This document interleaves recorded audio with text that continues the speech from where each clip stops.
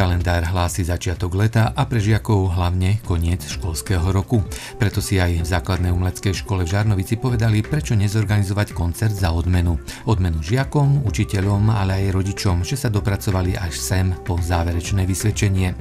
V piatok podvečer v parku pred základnou umeleckou školou sa predstavili pod taktovkou Dalibora Zmoraja až tri kapely. Dve žiacké, Živel a Neón a jedna zložená z dospelých učiteľov a rodičov, ktorí si dali názov Kalorici. V 1,5 hodinovom koncerte v niekoľkých blokoch sa postupne predstavili všetky tri kapely s vlastnou, ale aj prevzatou tvorbou. Nechýbalo občerstvenie, dobrá nálada, ale aj počasie. A vy, čo ste tento zážitok zmeškali, si ho môžete pozrieť aspoň zo strihu o mesiac v našej rubrike Nekomentované.